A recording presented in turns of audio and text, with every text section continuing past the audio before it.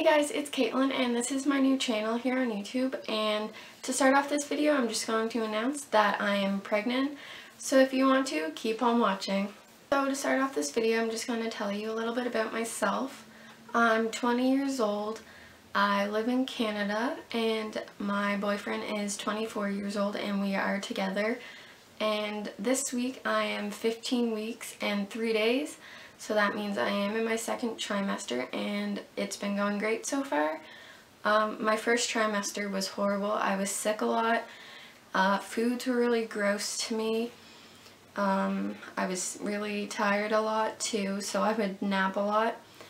Um, so now we're just going to talk about my second trimester and how it's been going so far. So now that I'm in my second trimester, I haven't really had any more morning sickness, which is a good thing because it wasn't fun.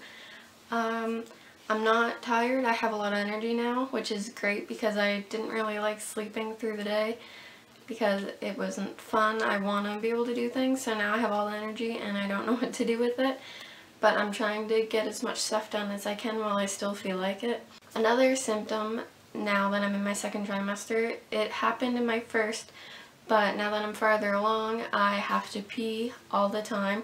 I'll wake up in the middle of the night too to pee, and it's annoying, but what do you do? You have to deal with it, I guess. So for 15 weeks, I'm just going to read what it says on my What to Expect app.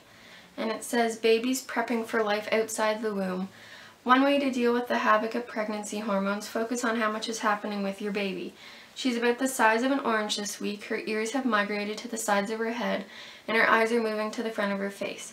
Plus, your little smarty pants can now wiggle her fingers and toes and make breathing movements in preparation for life outside the womb. Pregnancy hormones are pretty rough on your body, especially the teeth and gums, causing inflammation and making them more susceptible to plaque and bacteria. Your, form, your formerly healthy gums may have become super sensitive and prone to bleeding. In addition, you might be coping with chronic stuffy nose or even nosebleeds during pregnancy. Also brought on by progesterone surging through your system, fear not, it'll all pass. So I haven't had um, any nosebleeds or nothing, so that's good. But um, I have had like a stuffy nose and I feel like I'm catching a cold, but I think it just has to do with the pregnancy. So I'm taking another video because I forgot to mention some things. Um, so I have seen the doctor and everything and my pregnancy hormone levels were good when we first found out.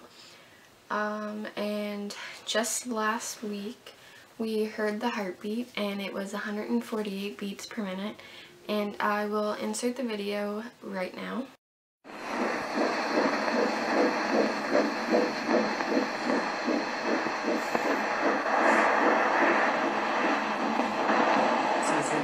that our and it was really exciting to hear that because we were kind of worried that we wouldn't hear nothing and we've been waiting for so long to hear it um, because there was a time where I did end up going to the hospital because I was at work and I almost passed out. I don't know what happened because I was fine and then I got right hot so I went in the cooler for a minute to try and cool down but then I started feeling right weird and so I tried to go sit down but then I couldn't really see. I lost my sight and um, things were like blurry and I could barely walk so I went up to the hospital and everything was fine they said. They said it was normal and that my blood sugars and my blood pressure was low but everything is fine now. It hasn't happened since. Um, but we did try to listen to the heartbeat when we were there and they wouldn't let me because I think I was 11 weeks then and they said it was too early. But at my family doctor we did get to hear the heartbeat so it was exciting to finally hear that. And um, my first ultrasound is on September 29th so this month and we couldn't be more excited. We will hopefully find out the gender of the baby that same day too because I will be 19 weeks then so I don't really have anything else to talk about this week because there hasn't really been much going on, but I'm just going to end this video by showing you guys my belly. So here is my belly with a shirt on.